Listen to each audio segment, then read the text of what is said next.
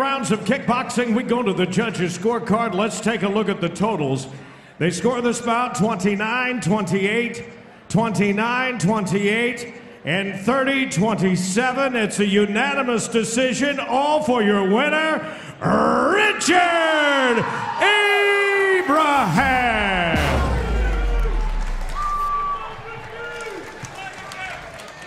We're here with a very thankful Richard Abraham, fresh off a trip to Holland. You rededicated yourself to the sport, to your craft, and it paid dividends tonight here against Charles Rodriguez. Congratulations, bro. Fantastic fight. Richard, how would you rate your performance?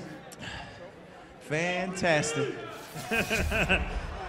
Hey, I know you're emotional. You got six kids at home. Your wife is here. Daddy's bringing home the bacon tonight. What do you want to say to your family? Man, I, I want to thank my friends, my family, my sponsors. I have such a strong support team that believe in me so much. And in, in 2018, I made an investment to carry on my son's legacy.